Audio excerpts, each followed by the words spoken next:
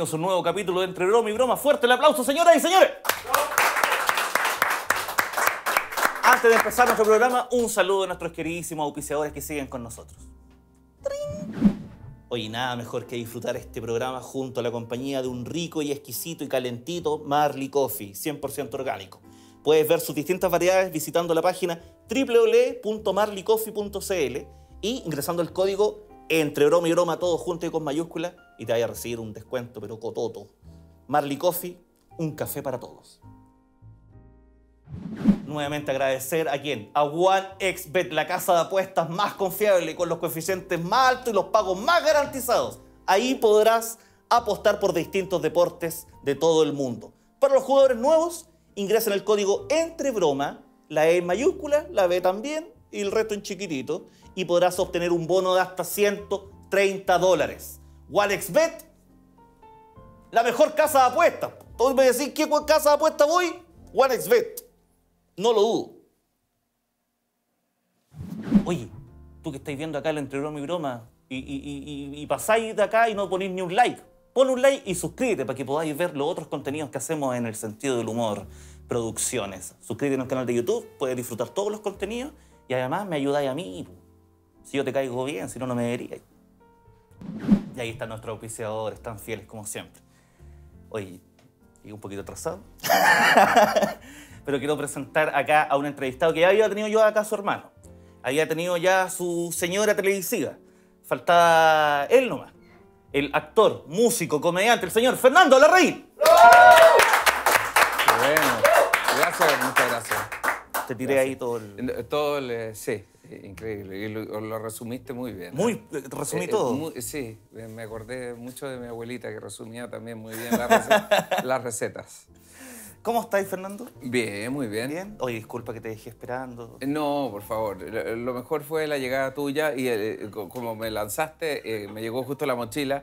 Eh, al fin llegué, dijiste una cosa así, me lanzaste la mochila, fue muy, muy Claro, bueno. yo entré por ahí, estaba el sillón al lado y tiré la mochila y te cayó encima. Eh, sí, pero eh, increíble eh, es el trato. No.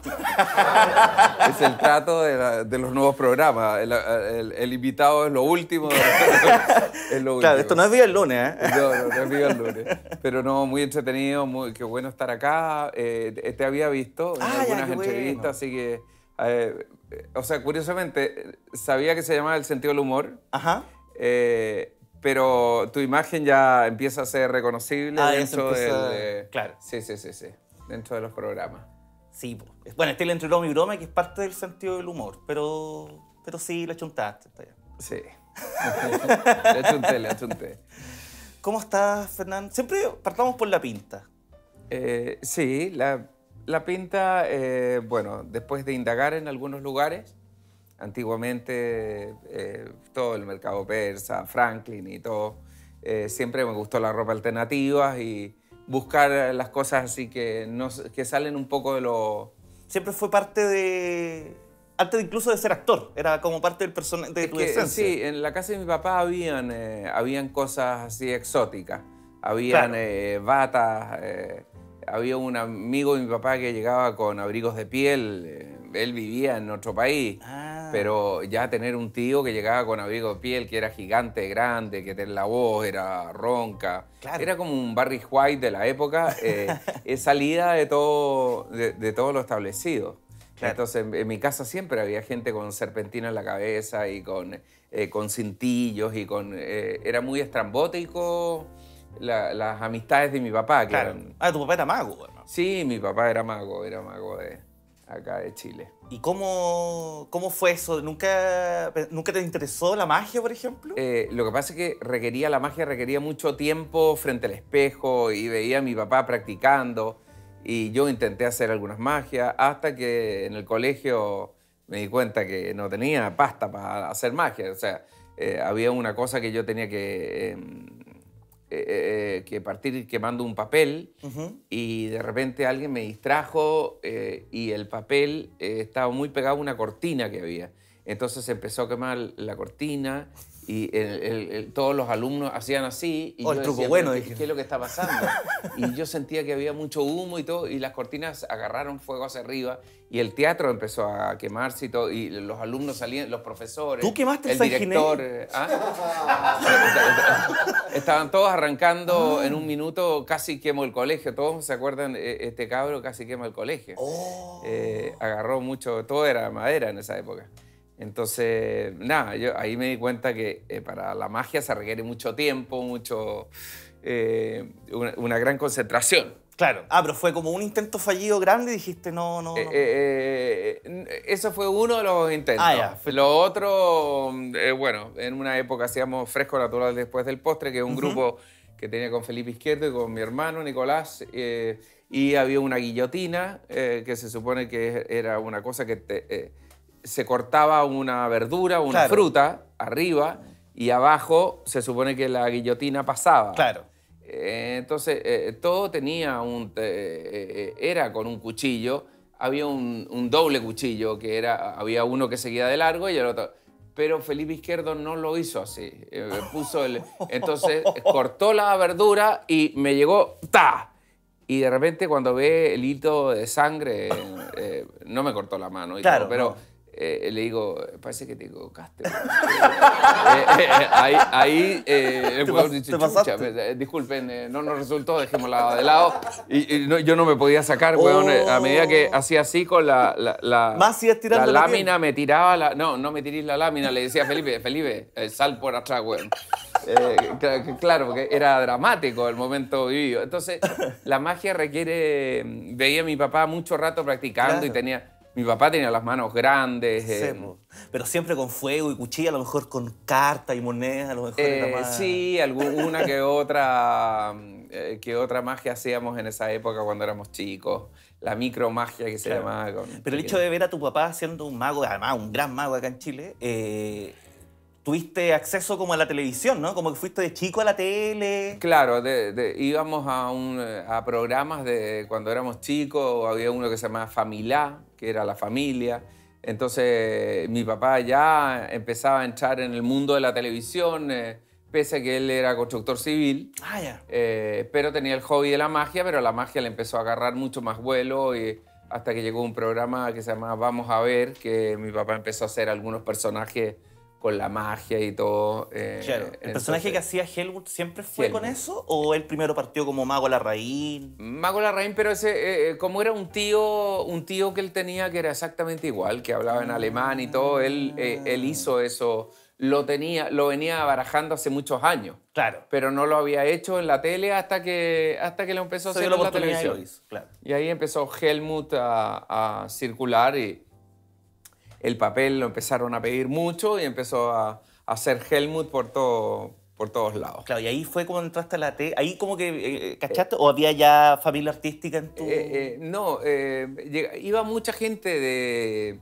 Iba mucha gente artística y, o actores a mi casa. Eh, mi papá tenía un local que se llama La Cigarra, que era una especie de pub de la época.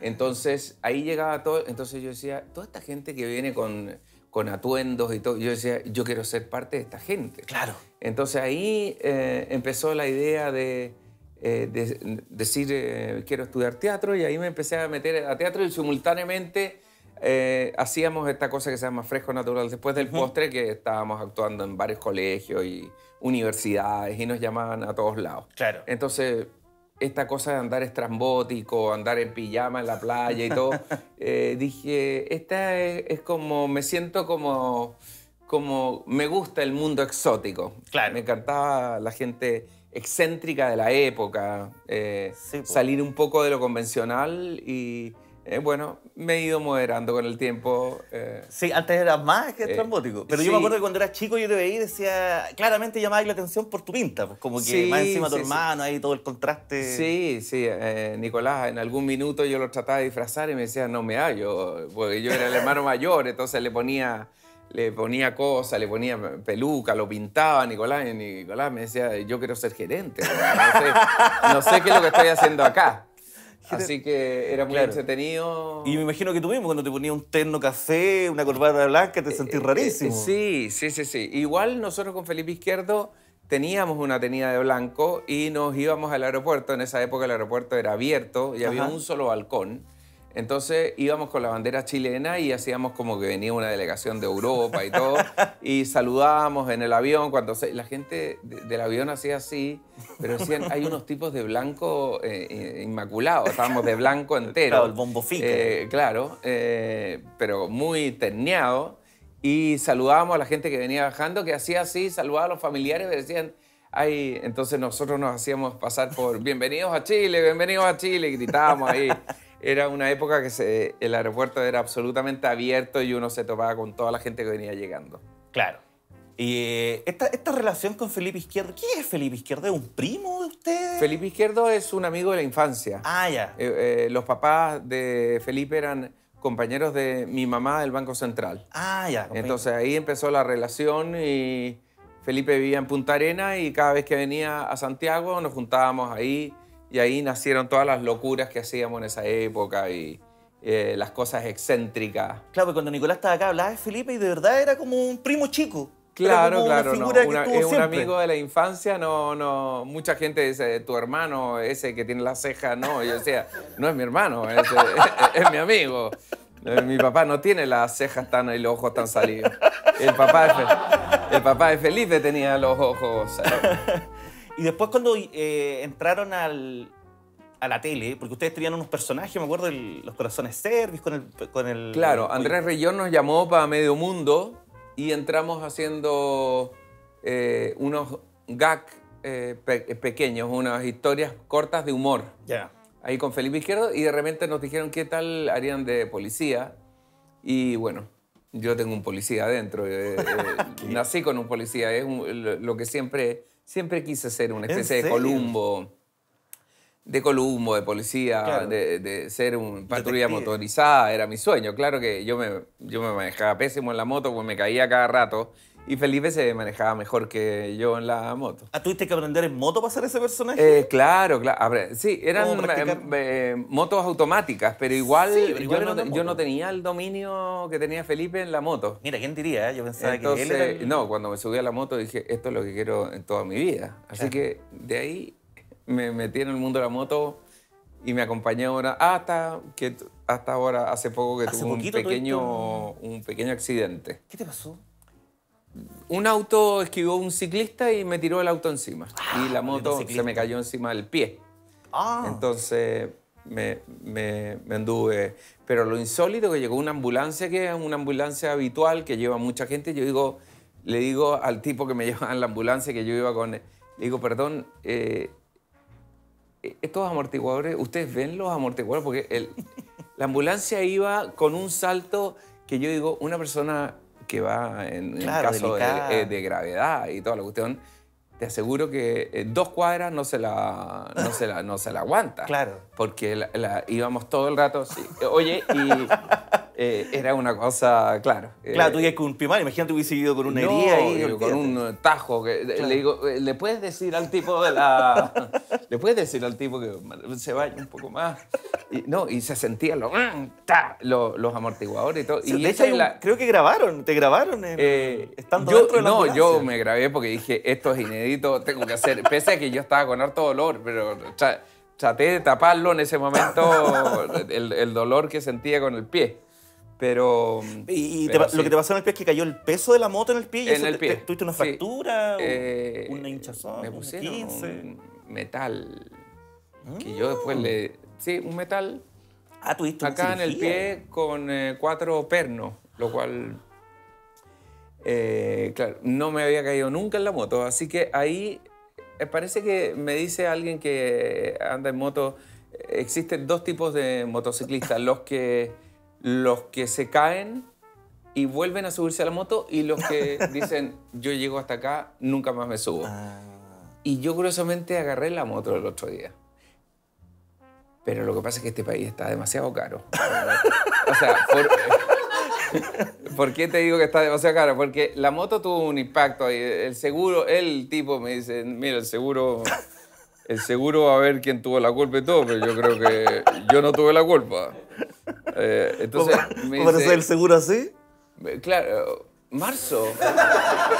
Pero me, me tocó marzo. Y me tocó justo, y no me tocó en marzo, sino que me tocó en diciembre. ahora. No, puta, no tengo un de viejo pascuero. Pero está bueno el, el gorro. Sí, te lo dejaré. Muy para parecido. Para que me hagáis el, Mm. el chistecito después. Ese personaje también fue muy... El de marzo sí, porque eh, eh, es- que salga un personaje de marzo que Es te que era diga, muy- muy bueno. eh, cuando, llegamos a, ah, cuando lleguemos a marzo, acuérdate que tenés que pagar la patente. acuérdate que, claro, entonces... eh, Esa campaña era del Banco Santander. Del Santander. Y ellos- Eh, antiguamente el Santiago, después se transformó en el Claro. Santander. Y ellos llegaron a ti y dijeron, oye, tenemos esta idea. Pero el personaje, me imagino que lo armaste tú, esa, esa personalidad, esa como de... Eh, claro, claro. O sea, de hecho, El volcán eh, ese. yo le dije, eh, yo le- ¿qué te parece que diga, ves ese volcán que ese volcán tiene lava y viene para acá? Y eso les encantó a los. Claro, yo le ponía ese tipo de cosas. como ese pesimismo divertido. Sí, sí, sí, sí. Es parte de mí. Después me empezó a jugar en contra porque yo cada vez que veía el personaje decía, hoy viene marzo. de nuevo". ¿Cómo voy a pagar todo lo que tengo que pagar? Claro. Entonces me pasaba a mí exactamente igual. Ah, después a ti se te aparecía Marmo- Marzo a ti mismo en el Eh, espejo. se, se me aparecía a mí, marzo. Es no, y lucha. hermano, pero- para tu hermano todos los meses son marzo. Sí, todo- todos los meses son marzo, es terrible. Nicolás se tiene que haber quejado harto. Claro, y después de que entonces estuvieron en Medio Mundo, después estuviesen, eh, estuvieron en eh, El Venga Conmigo. Eh, venga conmigo, estuvimos Haciendo ahí varios- haciendo La Elvira y Esteban. eh, La Elvira y este. Claro, que era, era una situación que la escribí yo, que era una mujer que, que trabajaba todo el día y el marido, el marido decía, al final del día decía, Elvira, después de todo lo que había hecho, ir a dejar los niños, hacer la comida, bueno, eh, limpiar, eh, poner las tejas arriba de la casa, eh, arreglar las puertas, todo. Elvira el televisor, apaga el televisor, y que ella está así durmiendo, Z. Y, ay, ¿por qué me toca esto? Y se levantaba ella y yo estaba muy metido en la cama después del trabajo y todo. Y, y querían que yo hiciera la Elvira, pero yo dije, no, la Elvira la va a hacer increíble Felipe Izquierdo. Yo, soy, yo hago el marido de todas maneras. Así que, bueno, un personaje bastante machista para la Sí. época. eh, y, y, bueno, era Pero otra, era un- otra época, era otra época. Marcó y- una generación. De hecho, Elvira ahora ya es un concepto ya. eh, O claro. sea, Elvira claro. de- de- no, Felipe le ha sacado el, el lustre a la Elvira. Claro. Incluso habían muchas mujeres que mandaron carta al canal diciendo que agradecían el espacio porque, lo, porque los hombres estaban tomando más conciencia eh, Ah, en el sur de Chile. Eh, Mira. Más conciencia con, con el tema de... Claro. O sea, el feminismo lo partió Felipe Izquierdo. Eh, Felipe Izquierdo, él es, él es el- uno de los iniciadores del feminismo. Del Me Too. Y después te tocó el, el otro personaje. Porque el- el- ahora el de tener la señora que hacía todo en la casa, después tenía ahí el Tito, que la señora. Y, no la señora, nada. claro, zumba las tarjetas, eh, está ahí, eh, se come todo lo que hay en la casa.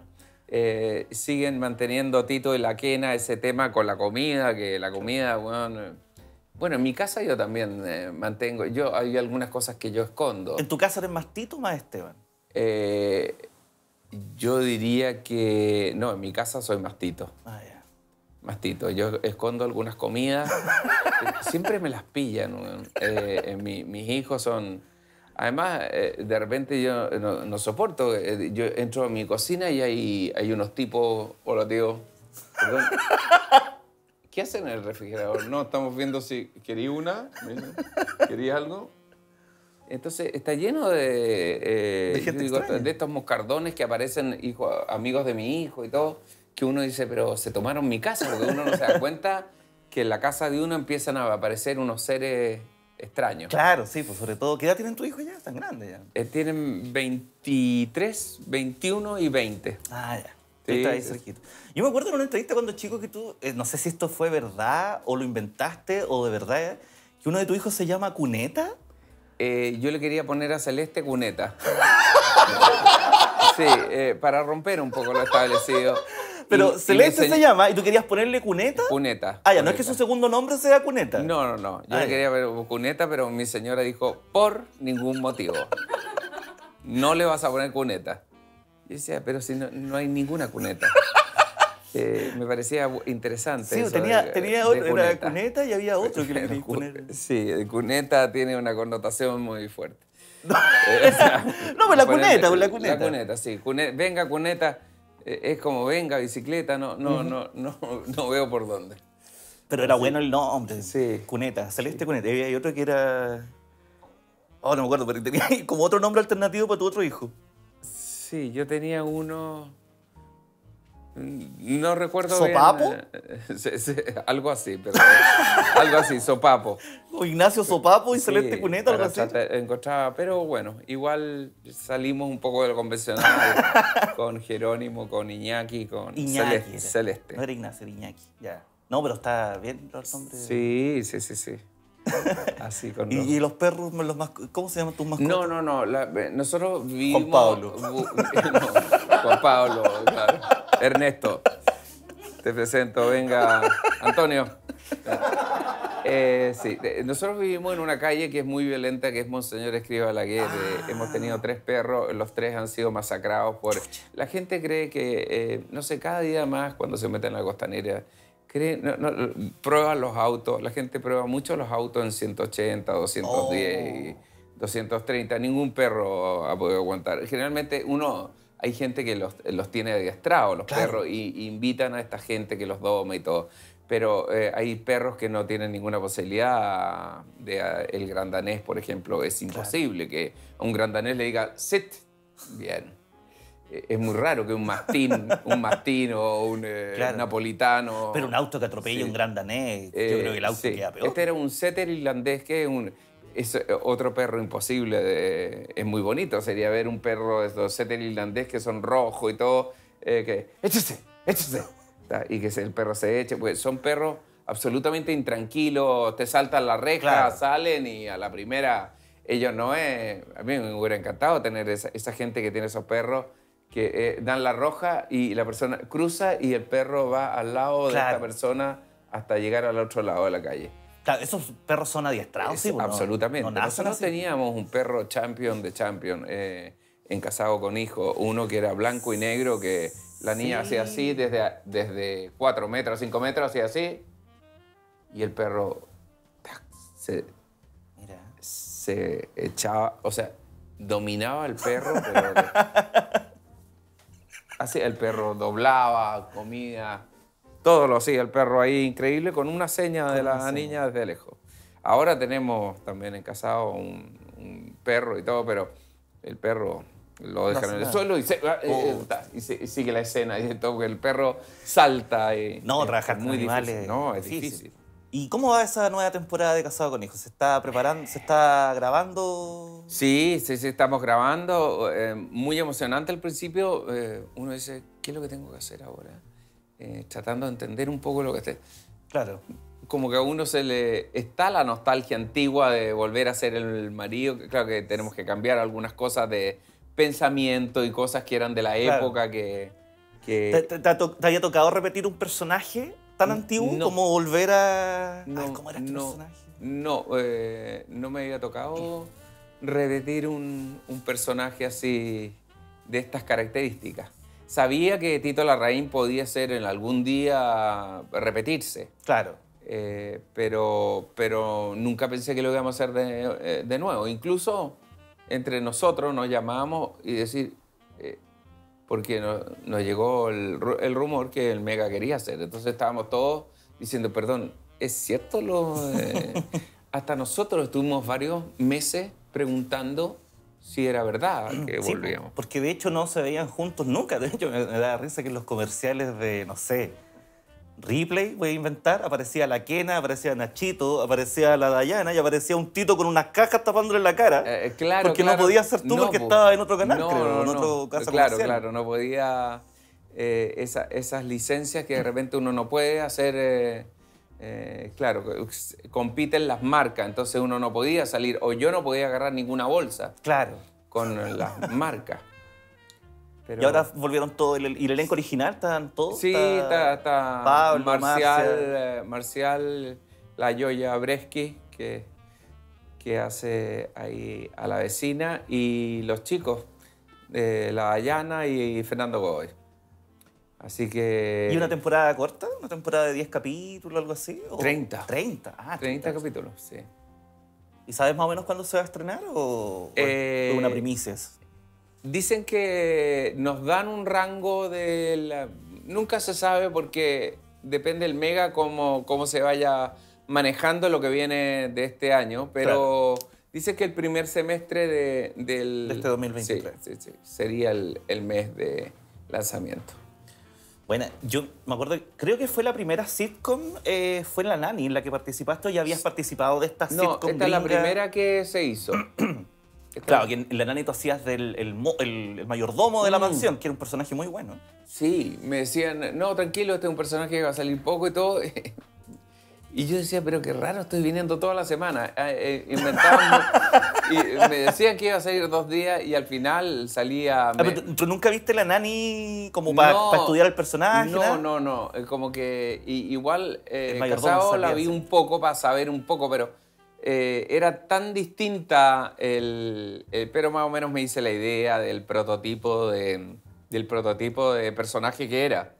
Se era como un mayordomo inglés, irónico. Sí, sí, sí, sí. Muy irónico y, y- y ahí estaba haciendo esa, esa serie que vino antes de Casado con Hijo. Claro, y después vino Casado con Hijo, que ahí fue el- ahí la rompieron. pues, ahí- Sí, sí, sí, sí. Ahí empezamos con...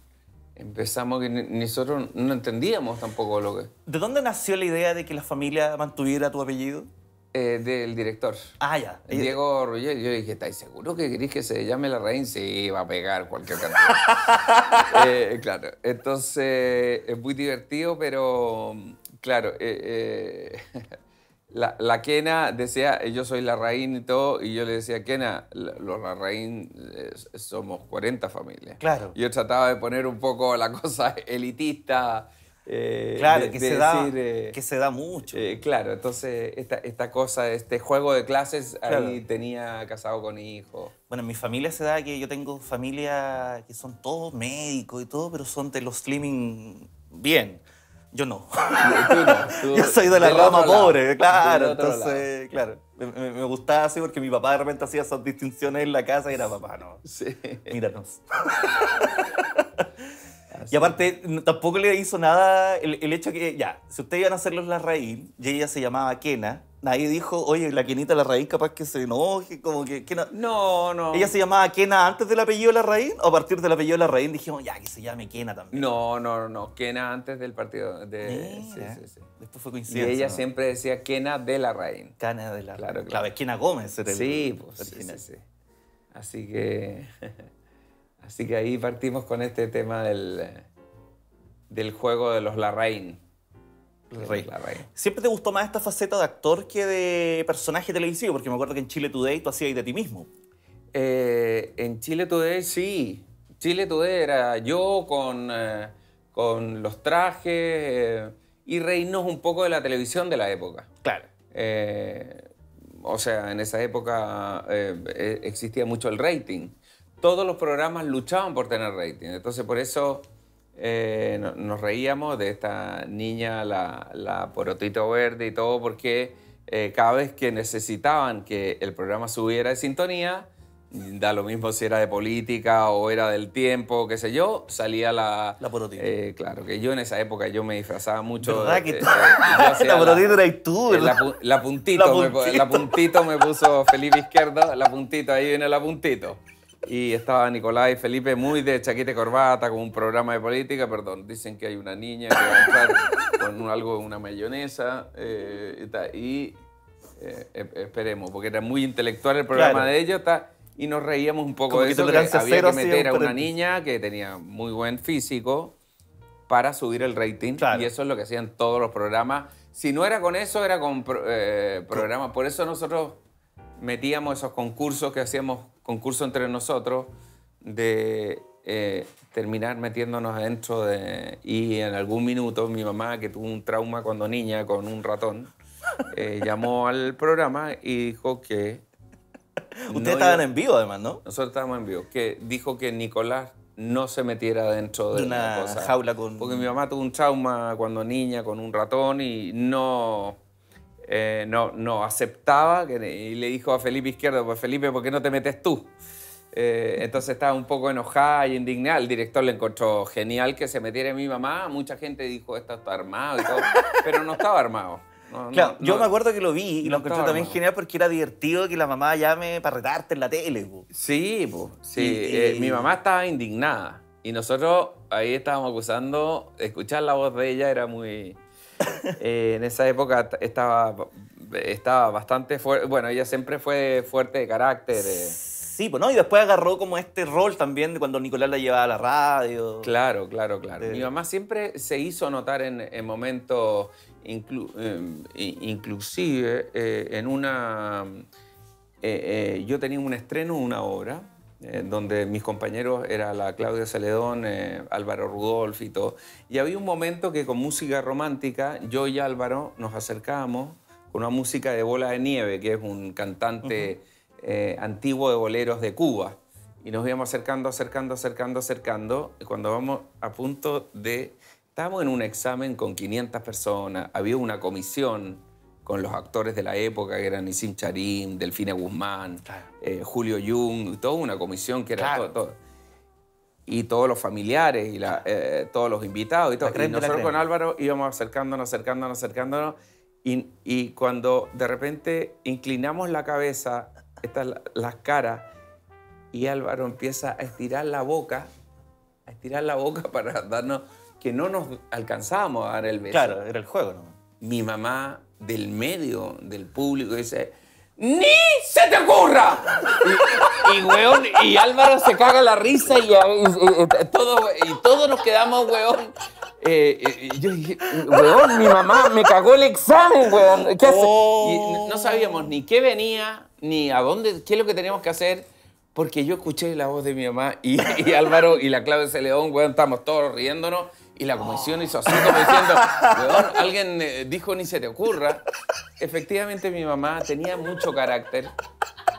De esas cosas hizo varias. De esas cosas, yo casi me morí y bueno, tuve un 2 en el... eh, con la comisión eh, me evaluó mal, pero fue muy buena. La, la fue- intervención. la- la intervención de mi mamá fue increíble. Sí, y siempre te llama para eso, así como, oye, ayer en el Casado Eh, con eh, Hijos vi que la Eh, agarró". Sí, mi mamá siempre sale, en eh, siempre defiende a sus hijos y sale así como esa, de alguna manera, como esa defensora de... Sí. Usted tiene una dinámica familiar bien divertida. Yo me acuerdo que hace años había una entrevista que estaba haciendo en Humanamente Hablando, creo, que estaba la Madrid entrevistando a tu papá y estabas tú y tu hermano al lado de él y todo el rato lo hueveaban. Todo el rato le metían el dedo en la nariz y, no lo- y el- y el caballero les decía, ya pues chiquillos, déjenme hablar. No, y yo partí como mago en... Eh, y sí, le empiezan a sacar la corbata. ¡Oh, los hueones cargantes! No, decía yo. Sí, sí. Era así. Nosotros, claro. Y teníamos un programa de radio con mi papá que nos reíamos mucho porque eh, mi papá siempre necesitaba, porque él había puesto una casa de magia, entonces eh, necesitaba que lo- eh, tener alumnos. Claro, alumnos. Entonces él decía, invitamos a todos los jóvenes y a todos los adultos. Eh, ¿Puedo pasar un dato? Decía, nosotros siempre era muy, muy caballero, claro. muy correcto. Entonces decía, sí, sí. Entonces invito a toda la gente a que llame al número y decía el número y todo. Entonces yo decía, perdón, eh, te van a llamar y, y allá no, no hay nadie en este momento. Eh, te pido por favor que no, no, no me aportilles eh, eh, el dato que estoy dando para que la gente vaya a, aprenda a hacer magia. No, no le digo, sí, está bien, pero estás dando un número ¿Y, y quién va a contestar allá? ¿No tiene secretaria?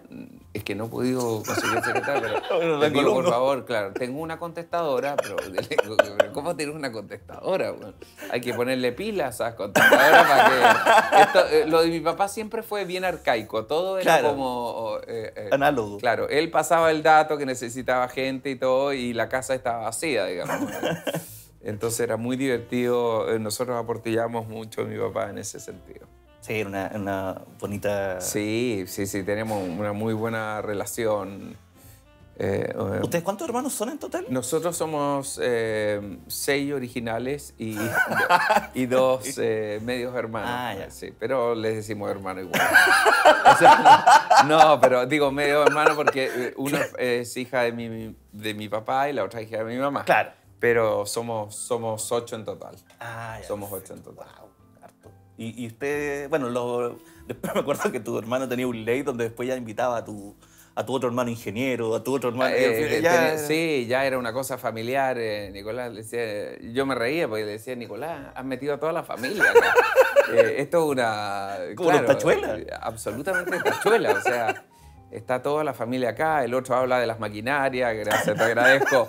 Muchas gracias por invitarme a tu programa. Y decía, pero bueno, es mi papá, mi hermano, eh, la, la sobrina, las primas. eh, gracias por haber venido. ta. Entonces era muy divertido Nicolás haciendo esas invitaciones a toda la, a toda la familia. a toda la familia. Sí, muy, muy buenos recuerdos. Y las teleseries ahí... Tú, tú te participaste en muchas teleseries también. Sí, sí, sí, sí. eh, y no siempre haciendo el rol cómico. De repente te tocó hacer personajes serios incluso. Sí, eh, es, es muy divertido. Uno de los eh, de las primeras, hay una teleserie que se hizo de época, del año 95, que se llama Estúpido Cupido, La vi. eh, que era todo del año 62, donde Claro. la Claudia Girolamo hacía una, Una monja en Una monja, claro. Eh, y ahí eh, era muy insólito porque... Ah, ¿por, qué, ¿Por qué dijiste esto? Eh, de personajes serios que te haya tocado Ah, interpretar. sí, porque eh, yo eh, hacía un tipo que un, el un tipo malo que era amigo de Rudolfi. Rudolfi era el galán Sí. con la Carolina Fadich que hacía su coprotagonista y yo era un tipo que venía a dejar la crema al pueblo. Y una de las niñas que me entusiasmaba a mí eh, era la Amparo Noguera. Ya. La Amparo Noguera era compañera de curso mío. Ah. Entonces, como Álvaro siempre hizo de pareja de la Amparo en todos los ejercicios, Claro. y ero- ellos eran actores dramáticos, la Amparo no podía concebir que yo apareciera y le dijera, ¿a dónde vas? Y la Amparo, como tenía el pelo largo, se dejaba caer y, y se empezaba a ver que el, el pelo... Eso es lo que, una de las cosas que me ha costado eh, a lo largo de, seguramente por mi tono. Una, profe- una profesora de voz me dijo, eh, el lado de comedia ya lo tienes. eh, Claro. no intente, intenta pasar al otro lado también. Eh, pero para mí es muy difícil. em, lo encuentro un desafío. Sí, pues es sí, incluso una vez me tocó hacer un- una, una serie que se llama Casado con la, ¿Con hijo? con la Claudia Celedón, Ah, que hacíamos un matrimonio de clase alta. Ya. Nos cagamos de la risa, pero era problemática de una pareja de, de- de alta sociedad, digamos, Claro. que tenía los problemas.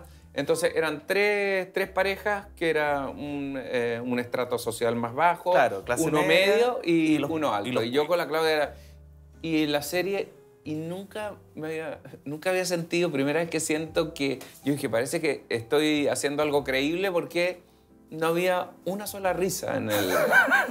lo cual era muy bueno porque todo es, eh, era todo problemática de... De reales. po. eh, real, entonces, eh, y, y la Claudia también es una comediante, nos reímos mucho porque ella es una comediante también, pese a que ella una Claro, vez... pero ella logró como despegarse de la comedia por al supuesto. punto que hace en papeles muy algún minuto dramáticos. yo le dije, me encantaría actuar contigo como las cosas que estás haciendo. Y me decía, todos tenemos un terreno que hemos pisado. Claro.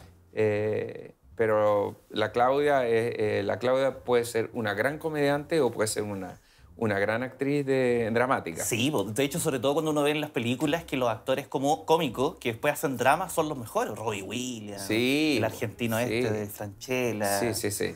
Eh, a mí me pasa mucho que con mi tono, como yo he hecho muchos comerciales y muchas cosas, eh, me ha tocado algunos lanzamientos de películas que se van pasando, todos los actores se van pasando los micrófonos. Entonces, cuando me toca a mí, hola, ¿cómo están? Y, y la gente se empieza a reír. Yo digo, pero, perdón, ¿hay algún problema acá? Eh, eh, inmediatamente genera, eh, ya uno está, eh, cuesta mucho, ya estoy en el tono Sí, de la ya- comedia. y a- aparte pasaste como es, ese que, como que el personaje se comió al, al- al actor, pues como que tú eres así en, Eh, en la vida. Como... Sí, sí. eh, sí. Y eso en realidad me, me hace sentir bien igual. eh, porque el único lugar donde yo soy serio es mi casa. Ah, ya. Porque en mi casa tengo el... eh, ahí se me produce una... una me siento Tito Larraín, digamos, Claro. cuando eh, yo Lo llego a mi casa y, y, eh, el neumático, entro al auto y el neumático... Tengo que mover el auto porque el neumático está pisando 14 cuentas. Entonces yo digo, tengo que mover el auto para sacar 14 cuentas que no sé qué me están cobrando. Eh, eh, eh, to- to- los, valores son, los valores cada vez son más amplios. Claro. Eh, como esta, esta cosa que, esta- esto que, este accidente que tuvo con la Sí. moto y todo, que un foquito, un, un rayón de, de un plástico Claro. y todo, unos valores, weón, eh, me llega la, la factura de, de lo que hay que pagar y yo digo, perdón, esta gente se volvió loca. O sea, Claro, ¿por qué no me morí? Es como que una casa cueste, yo no entiendo, un departamento, 8 mil millones. Yo no sé esos departamentos qué es lo que tienen por dentro. O sea, No, pero, oye. ¿cómo puede haber un departamento, 8 mil millones? Esta gente, yo no sé cómo la gente puede sacar 8 mil millones así. No, compramos uno ahí a- en el- allá en las Vizcachas y otro, otro lugar por allá. Una- unos valores. Entonces yo digo, chuta, siento que Tito Larraín de repente digo, perdón, ¿en qué gastaste? Eh, pero pásame esa cuenta, eh, déjame ver, ando revisando las cuentas. Claro. Yo, claro. Yo me pongo, me, me veo y digo, chuta, mira, eh, Estoy- me estoy repitiendo en la casa, el Tito Larraín se está repitiendo en la vida real. Entonces, es el lugar donde me pone serio. El lugar por Pero generalmente, sí. mi papá era muy divertido. En la casa. En la, en la calle. En la calle. Mi, pa- mi papá iba a la oficina ¿Ya? Y yo le digo, perdón, te llamé a la oficina y todo. eh, sí, lo que pasa es que me topé con un amigo y me llevó a un local. eh, eh, lo- los almuerzos de mi papá eran larguísimos. eh, siempre lo desviaban. Él se iba a la oficina y lo desviaba algún amigo. mi papá era muy bueno para las conversas. Era muy bohemio el Claro. mundo de la magia. Sí. Todos partían para allá. Y eh, mi mamá siempre, eh, llegó un minuto que mi mamá esperaba a la una, una y media, que mi papá aparecía. Mi papá era el otro día. Claro. Es muy, la magia es muy nocturna. Y el mago se desapareció. Desapareció. Eso es lo que, lo que pasaba siempre, que mi papá desaparecía en los lugares más increíbles. Así es, parte de la vida. Perfecto. Oye, queremos hacer un- una breve pausa para poder saludar a nuestros auspiciadores que pagan todo esto. Oye, nada mejor que disfrutar este programa junto a la compañía de un rico y exquisito y calentito Marley Coffee, 100% orgánico. Puedes ver sus distintas variedades visitando la página www.marleycoffee.cl y ingresando el código entre broma y broma todo junto y con mayúscula y te vaya a recibir un descuento, pero cototo. Marley Coffee, un café para todos. Quiero agradecer nuevamente a Casa Renovatio por seguir con nosotros. Una óptica personalizada. Oye, tú llegáis con tu receta, ellos te hacen un estudio del caracho, te dejan los lentes, pero a la pinta. Óptico, eh, de sol, lo que tú queráis. Además, encima están bien ubicados. Están en el casco histórico de la ciudad y los puedes ver todo esto y sus modelos exclusivos en su Instagram, arroba óptica-renovatio. Casa Renovatio, pioneros en asesoría estética. Nuevamente agradecer a quién? A OneXBet, la casa de apuestas más confiable, con los coeficientes más altos y los pagos más garantizados. Ahí podrás apostar por distintos deportes de todo el mundo. Para los jugadores nuevos, ingresen el código entre broma, la E en mayúscula, la B también y el resto en chiquitito, y podrás obtener un bono de hasta 130 dólares. OneXBet, la mejor casa de apuestas. Todos me decís, ¿qué casa de apuestas voy? OneXBet. No lo dudo. Tú que estáis viendo acá el entre broma y broma y, y- y- y- y pasáis de acá y no ponéis ni un like. Pon un like y suscríbete para que podáis ver los otros contenidos que hacemos en el sentido del humor, producciones. Suscríbete al canal de YouTube, puedes disfrutar todos los contenidos y además me ayudáis a mí. Si yo te caigo bien, si no, no me veríais. Y esos fueron nuestros auspiciadores. ¿Cómo tan rápido? Así es.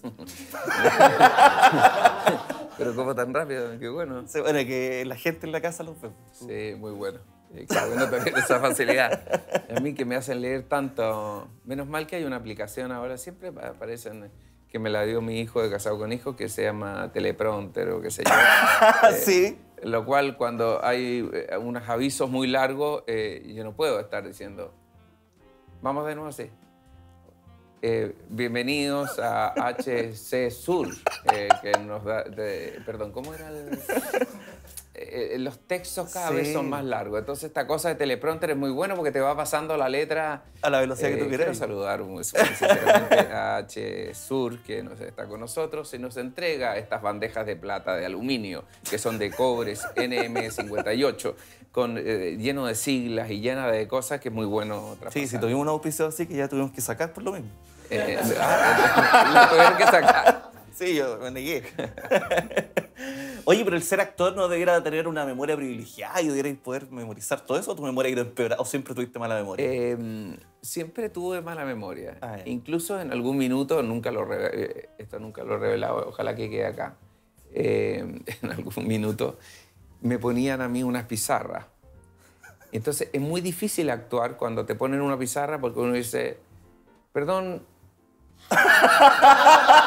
¿por qué llegaste acá? Eh, esta Claro. cosa de mirar hacia el Como en lado. Saturday Night Live, que les claro, ponen entonces, la- eh, yo tenía que todo el rato eh, estar actuando de lado y diciendo.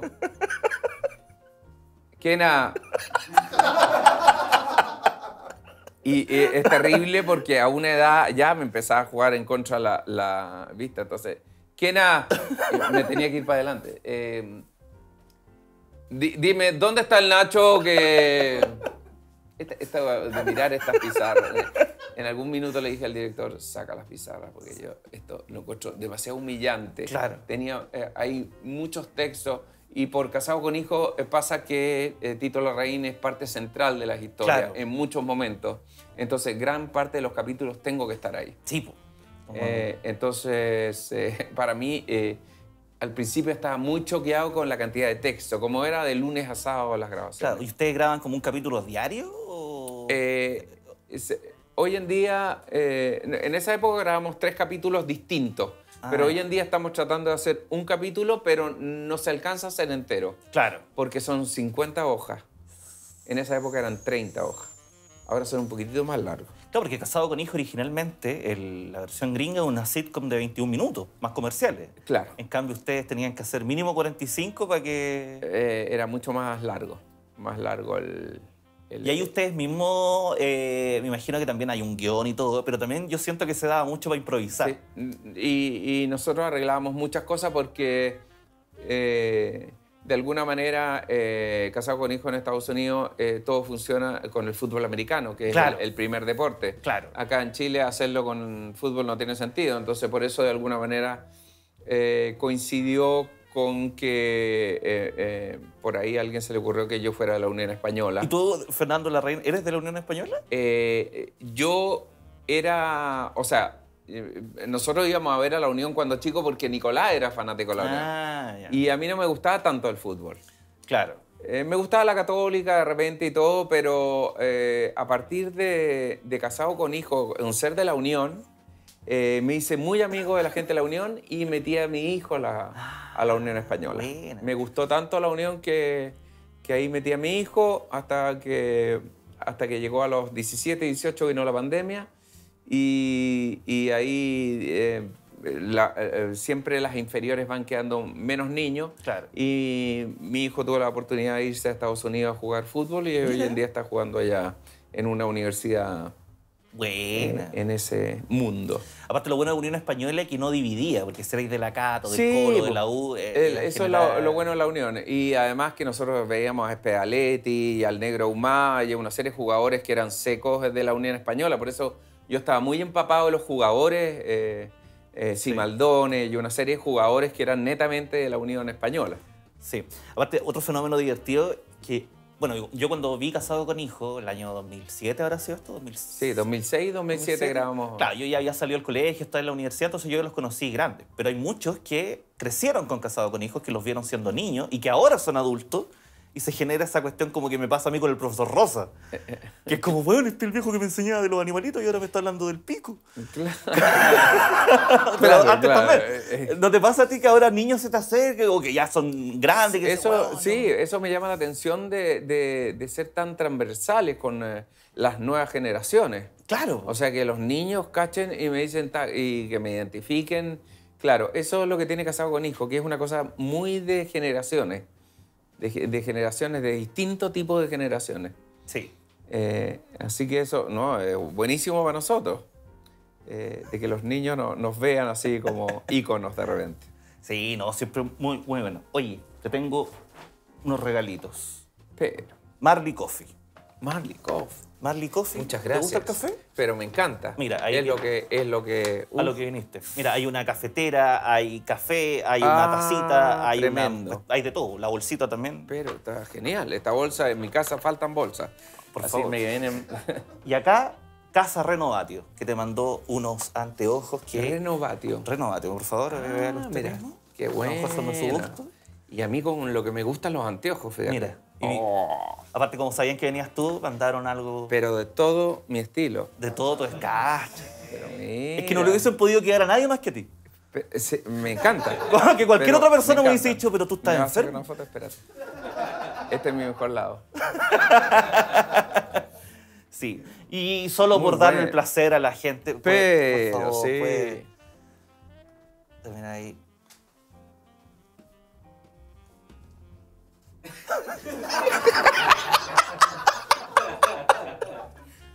Sí, yo me miro y me, me falta el bigote. Te ¿no? falta el bigotito, bueno. el bigote. Era un, un bigote muy. eh, eh, Era un bigote negro, así. eh, sí, muy. Eh, Chaplin, digamos. claro. ¿no? Bueno, pero. Yo me veo exactamente igual. Sí, oye, la cagaste por mantener. ¿Qué edad tienes tú, Fernando? Estamos, no, ya estamos en la cruzada. Pero- Eh, 60, pero para los amigos 47. 60. Sí, 60. Bueno, te ves demasiado bien. ¿Cómo lo hacías? Gracias, gracias. No, eh, yo creo que es el agua, lo que estoy tomando en las noches también. Eh, algunas gotitas con azúcar. Y el chocolate. El chocolate hace bien, parece. El chocolate, ¿ah? Mira, eh, Sí, sí, sí, sí. parece que a mí no me hace bien. parece que no, el mismo chocolate. Pero el chocolate es, es que El de tuyo- cacao, El tuyo es relleno. El chocolate- sí, pero fíjate, Puta marzo, no, que pero es es que- dañino. Puta marzo, Es que hay, tenía que que- tiene hay que- dañarte. gente que le gusta chocolate con relleno. Claro. A mí me gusta el chocolate más natural. Claro. Pero, pero una lección. una lección. Es una lección. Qué violento. Gracias, Marzo. Oye, despedimos a nuestro invitado Fernando Larrey. Muchas gracias por haber estado con Gracias por nosotros. todo. Máster, Lo pasé muy bien. Gracias.